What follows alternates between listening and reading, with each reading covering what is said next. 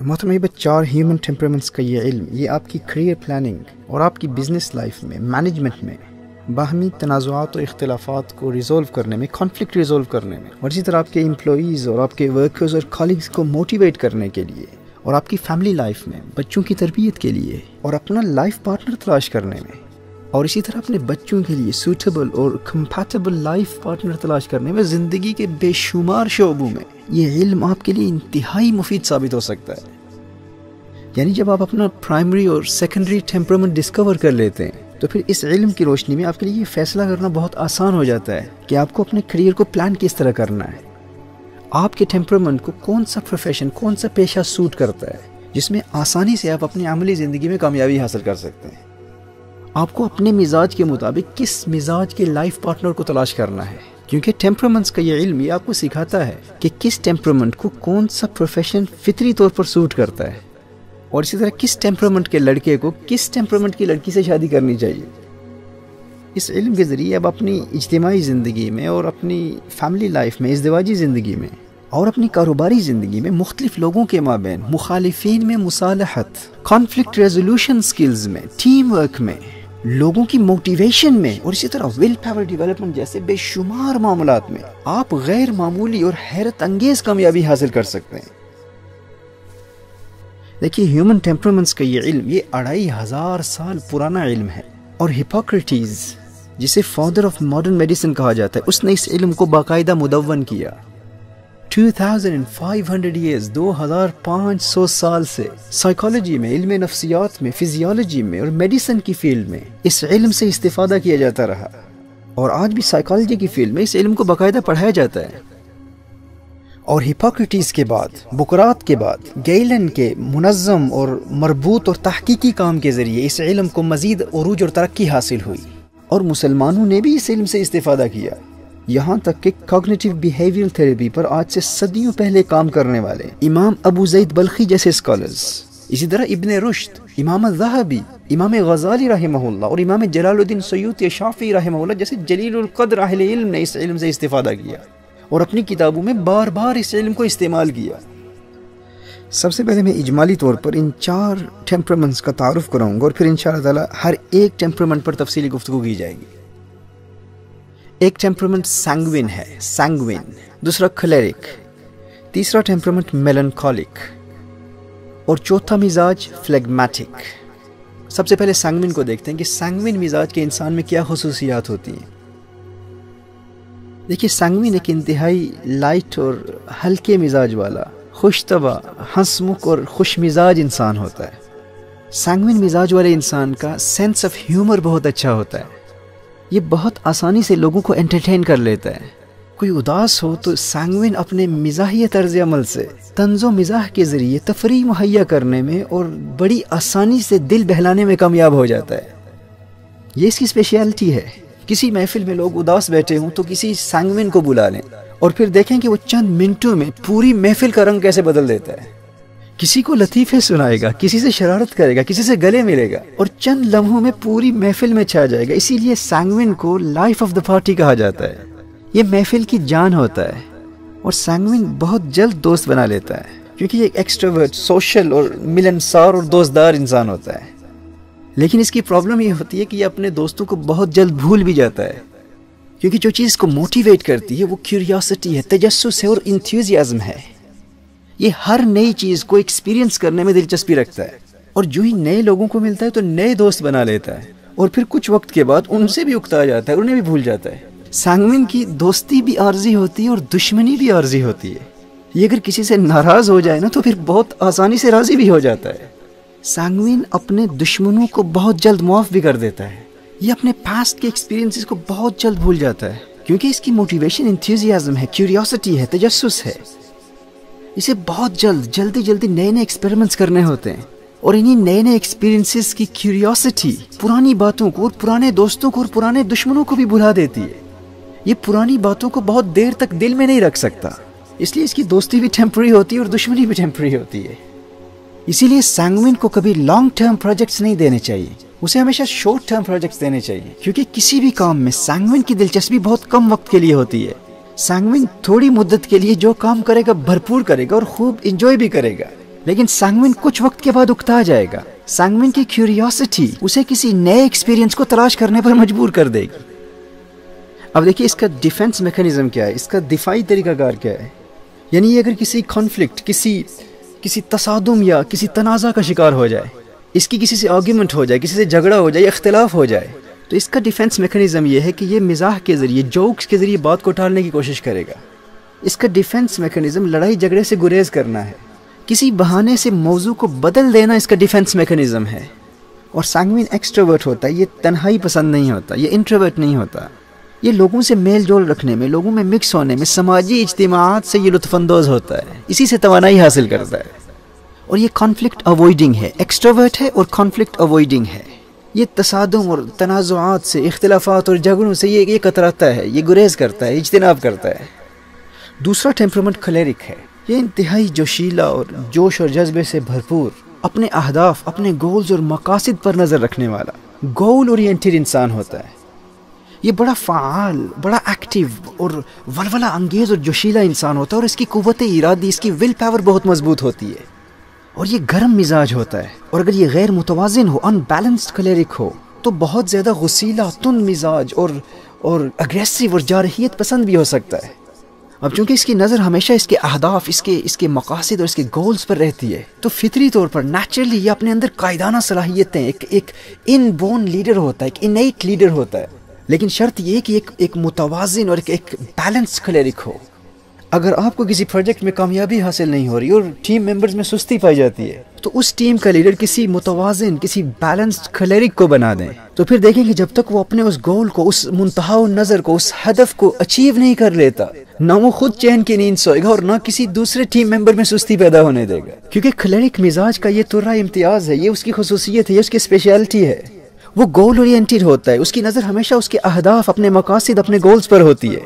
उसे नेचुरली फितरी तौर पर हर हाल में रिजल्ट्स और कामयाबी चाहिए होती है। अब क्लरिक टेम्परमेंट का डिफेंस मैकेनिज्म क्या है? ये सैंगविन की तरह अपने सेंस ऑफ़ ह्यूमर को इस्तेमाल करके टॉपिक बदलने की कोशिश नहीं करेगा, क्योंकि इसमें सेंस ऑफ़ ह्यूमर तो वैसे भी बहुत कम होता है। और ये कॉन्फ्लिक्ट अवॉइडिंग नहीं होता, ये कॉन्फ्लिक्ट सीकिंग होता है। इसका डिफेंस मैकेनिज्म ये है कि ये दूसरों पर इल्ज़ाम लगाएगा, दूसरों पर तनकीद करेगा।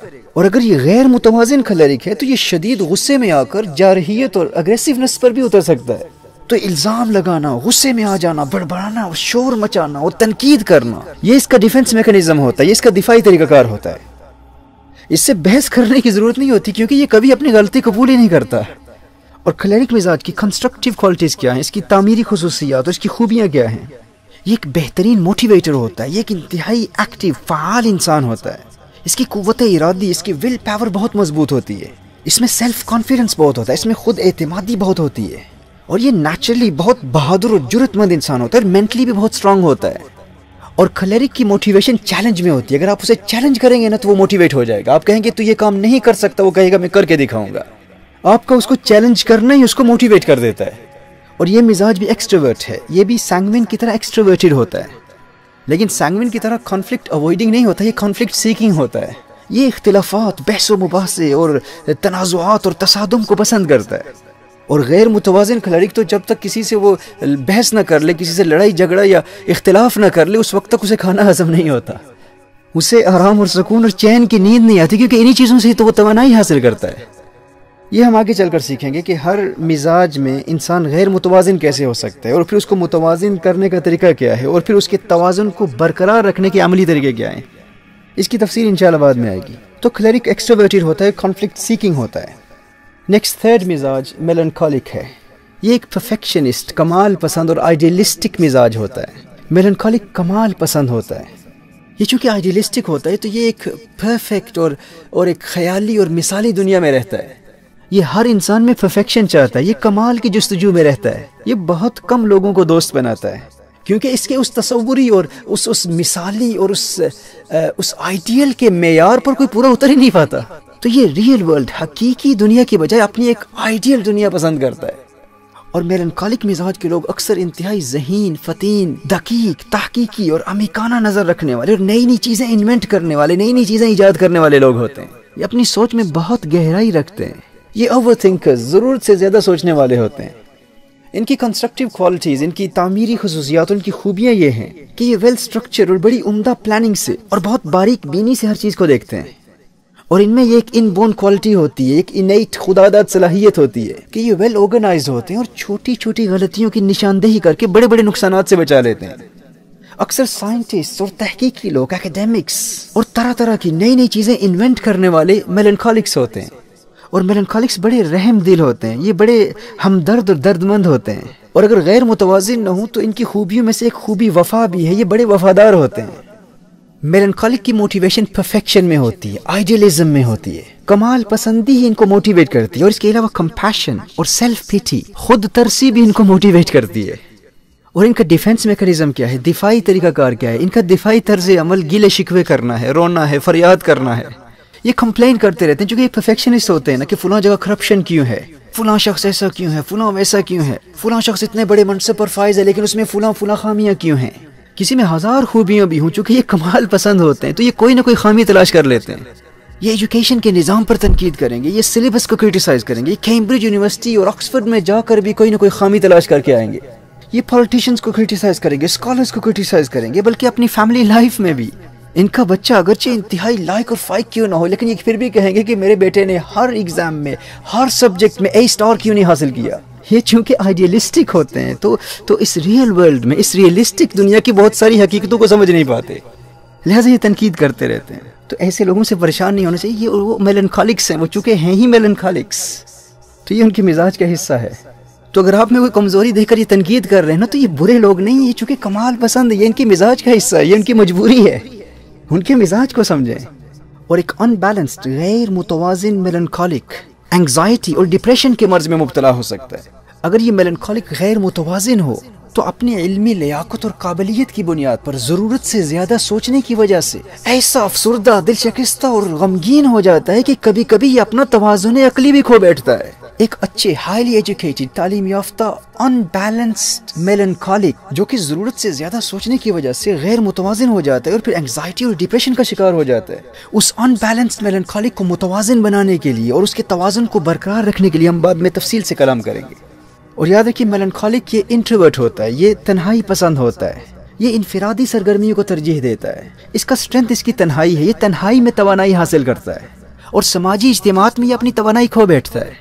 ये इंट्रोवर्टेड होता है, ये टीम वर्क पसंद नहीं करता। इंसानी तामुल से ये बोरियत महसूस करता है, गोया कि ये अपने आप में ही मगन रहता है। इसका स्ट्रेंथ इसकी तन्हाई है। और याद रखिए मेलनकॉलिक अगरचे एक इंट्रोवर्ट मिजाज है, लेकिन ये कॉन्फ्लिक्ट अवॉइडिंग नहीं होता, ये कॉन्फ्लिक्ट सीकिंग होता है। सैंगविन एक्सट्रोवर्टेड है, लेकिन कॉन्फ्लिक्ट अवॉइडिंग है। खलेरिक एक्सट्रोवर्टेड है, लेकिन कॉन्फ्लिक्ट सीकिंग है। और मेलनकॉलिक अगरचे इंट्रोवर्टेड होता है, लेकिन कॉन्फ्लिक्ट सीकिंग होता है कॉन्फ्लिक्ट अवॉइडिंग नहीं होता।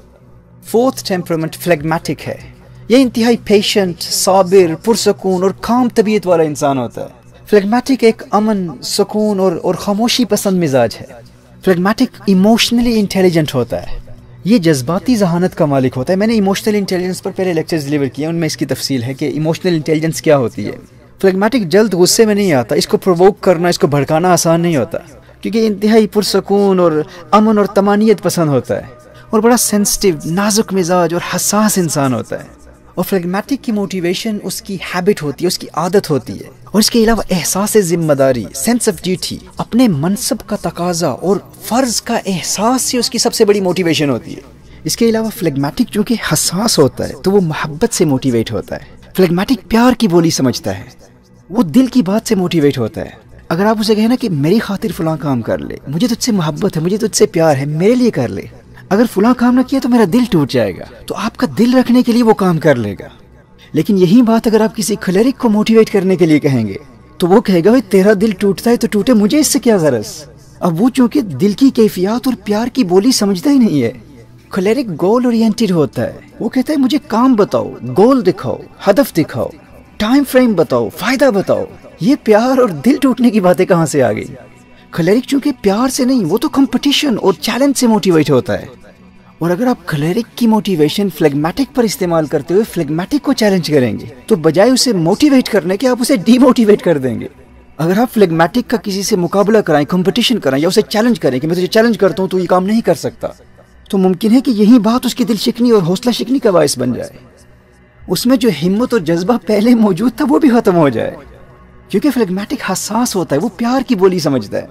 उसकी मोटिवेशन का ताल्लुक जज्बात और एहसास की दुनिया से होता है। उसकी मोटिवेशन उसके फ़र्ज़ का एहसास है, लोगों का एहसास और दूसरों की मोहब्बत का एहसास उसको मोटिवेट करता है। इसी तरह देखिए, अगर आपने अपने बच्चे के प्राइमरी टेम्परामेंट को डिस्कवर कर लिया है और आपके बच्चे का प्राइमरी मरकजी टेम्परामेंट फ्लेगमेटिक है, और अगर आप अपने फ्लेगमेटिक बच्चे से कहें कि देख, अगर इस मरतबा भी तू एग्ज़ाम में फेल हो गया तो तेरा टीचर जिसने तुझ पर इतनी मेहनत की है, उसका दिल टूट जाएगा। वो तेरे मुतालिक क्या सोचेगा? तो वो फ्लेगमेटिक बच्चा टीचर की खुशी के लिए मेहनत पर आमादा हो जाएगा, उसको मोटिवेशन मिल जाएगी। लेकिन यही बात अगर आप अपने दूसरे बच्चे से कहते हैं, जो खलेरिक मिजाज का है तो वो हरगिज मोटिवेट नहीं होगा, क्योंकि वो दिल की बोली समझता ही नहीं है, वो प्यार की बात समझता ही नहीं है। वो कल्बी कैफियात और जज्बात और एहसास की दुनिया को जानता ही नहीं है। लेकिन अगर आप क्लैरिक बच्चे को यूँ कहेंगे कि तेरा फुला क्लास फेलो वो तो बहुत लायक है, तू उसका मुकाबला नहीं कर सकता। तो एग्ज़ाम्स में उससे ज़्यादा मार्क्स हासिल नहीं कर सकता। तो चूँकि अब खलेरिक कंपटीशन और चैलेंजेस से मोटिवेशन हासिल करता है तो उसका रिएक्शन यूँ होगा कि तुम मुझे नाअहल समझते हो। अब देखना मैं उससे ज़्यादा मार्क्स हासिल करके दिखाऊँगा। लेकिन यही बात अगर माँ अपने फ्लेगमेटिक बच्चे को कहेगी, तू कामयाब नहीं हो सकता। तू फुला से ज़्यादा मार्क्स हासिल नहीं कर सकता। तो मुमकिन है कि उसकी इस कदर हौसला शिकनी हो। क्योंकि वो हसास होता है तो मुमकिन है कि उसका दिल ऐसा टूटे कि वो एंग्जाइटी और डिप्रेशन की कैफियत में चला जाए। कि अब चूँकि मेरी माँ ने कह दिया मैं कामयाब नहीं हो सकता तो अब मैं कामयाब हो ही नहीं सकता।